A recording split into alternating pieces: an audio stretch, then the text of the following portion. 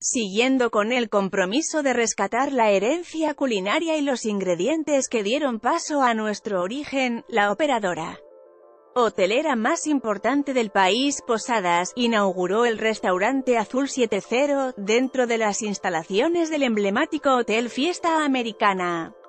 De Paseo de la Reforma. Invitados especiales, amantes de la gastronomía e influencers, se reunieron para descubrir y disfrutar de México a su máximo nivel, a través de los sabores de los platillos que prepararon los chefs Ricardo Muñoz Zurita y Gerardo Rivera. La carta disponible de Azul 70 consta de una amplia oferta de deliciosos platillos mexicanos como ceviche, porteño, crema de cilantro, pescado tikin el tradicional mole negro de Oaxaca, sorbete de Jamaica orgánica con mezcal, chía y sal gruesa, mismos que se degustaron durante la velada. En Posadas amamos la gastronomía mexicana por esta razón hemos dedicado nuestros esfuerzos para llevarla a todo México y a sus visitantes a través de nuestras marcas Gran Fiesta Americana y Fiesta Americana buscando siempre la innovación en la alta cocina, pero conservando la tradición local que la hace única.